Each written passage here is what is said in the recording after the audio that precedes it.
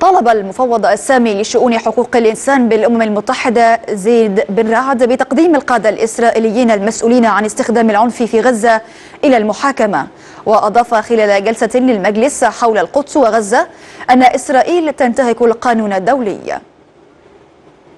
سياسة القتل ضد المدنيين العزل. تنتهك القانون الدولي وإسرائيل. لا تلتزم بقواعد الاشتباك المعروفة دوليا. لذا لا بد من منثور القادة الإسرائيليين المسؤولين عن استخدام العنف والقوة المفرطة ضد المدنيين أمام العدالة.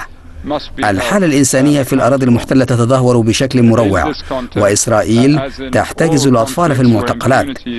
الفلسطينيون يحرمون من حقوقهم بشكل ممنهج.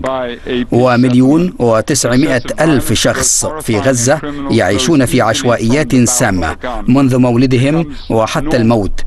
ونحن هنا نقول انتهاء الاحتلال الإسرائيلي هو الحل. لا بد أن يعيش الفلسطينيون في أمان وأن يكونوا أصحاب سيادة.